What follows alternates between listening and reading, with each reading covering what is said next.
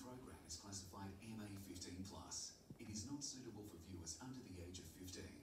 We recommend the use of the parental.